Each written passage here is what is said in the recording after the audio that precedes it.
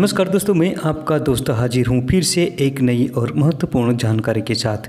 ये जो आप देख रहे हैं वीडियो में, ये कुप्पी का पौधा है। दोस्तों, रोज़मर्रा की ज़िंदगी में न जाने कितने ही पेड़ पौधों को हम देखते हैं। हमारे आसपास में होते हैं या हमारे आँगन में भी लगा होता है, या गमले में भी लगाया होता है, या खेत खलिहानों में हम इसे देखते हैं। लेकिन इसकी जानकारी न होने के कारण इसके फ़ायदे हम नहीं ले सकते। इन जड़ी बूटियों में ऐसे तत्व पाए जाते हैं कि जो हमारे शरीर में जिन तत्वों की कमी होती है, इसको लेने से उन तत्वों की पूर्ति हो जाती है और हमारा शरीर निरोगी बन जाता है।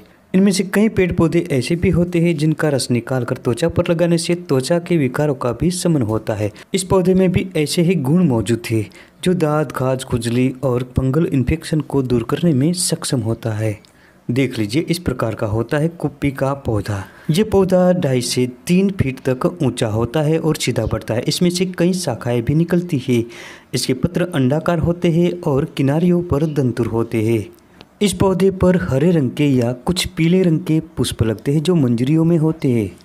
ये पौधा वर्षा ऋतु में उत्पन्न होता है और लगभग पूरे भारतवर्ष में आपको ये आसानी से देखने को मिल जाता है। खेत, खलिहान, खाली पड़ी ज़मीन, सड़क के किनारों पर और नदियों के किनारों पर भी ये आपको आसानी से देखने को मिल जाएगा। दोस्तों, नमी वाले स्थान पर तो ये पौधा पूरे वर्ष भर आपको देखने को मिल जाएगा। गर्मियों के मौसम में ये पौधा सूख जाता है और वर्षा ऋतु में फिर से उत्पन्न होता है। इस पौधे को संस्कृत में हरित मंजरी और अरिष्ट मंजरी से पहचान मिली है। इस पौधे का हिंदी नाम है कुप्पी और खोखला। मराठी में खोखली कुप्पी और खाजोटी कहते हैं। इस पौधे का अंग्रेज़ी नाम है इंडियन एकेलिपा और वैज्ञानिक नाम है एकेलिपा इंडिका। देश के अलग अलग भाषाओं में और क्षेत्रों में इसे अलग अलग नामों से जाना जाता है। दोस्तों, ये कुप्पी का पौधा औषधीय गुणों से भरपूर होता है।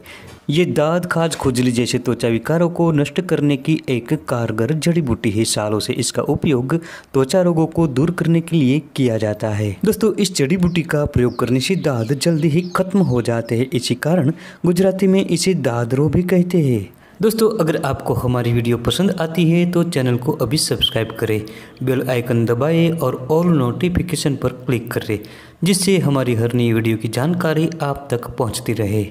इस पौधे में एक चमत्कारिक गुण होता है बिच्छू के जहर को खत्म करने का। बिच्छू के दंश के स्थान पर तुरंत इस पौधे के पत्तियों और डंठल का ताज़ा रस निकाल कर लगाने से बिच्छू का जहर खत्म होता है और दर्द भी दूर होता है। इसी कारण गुजरात के काठियावाड़ क्षेत्र में इसे वैंसी कांटो भी कहते हैं। इस पौधे का गुणधर्म रेचक होता है।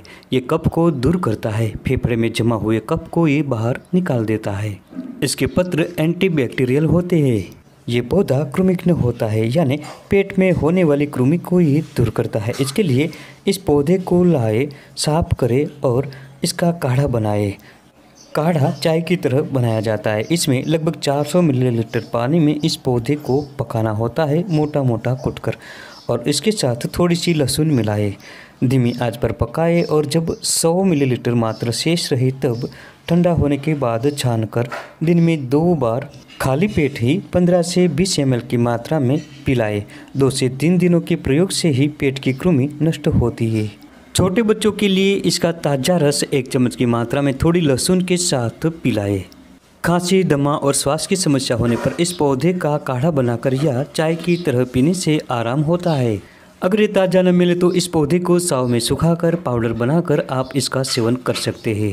दोस्तों, आपको बता दें कि कभी भी किसी भी प्रकार की जड़ी बूटियों का आपको पाउडर बनाना हो तो इसे कभी भी धूप में न सुखाए।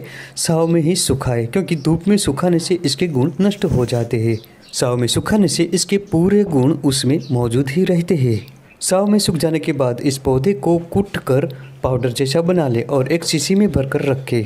जब किसी को श्वास, दमा और खांसी की समस्या हो तो इसमें से एक से दो चम्मच की मात्रा में पानी में मिलाकर काढ़ा बनाए, चाय की तरह और आधा शेष रह जाने के बाद ठंडा होकर छान कर पी जाए। इसके तीन से चार दिनों के प्रयोग से ही दमा, खांसी और श्वास नष्ट होते हैं। अगर फेफड़े में कप जम गया होगा तो ये भी बाहर निकल जाएगा बहुत आसानी से।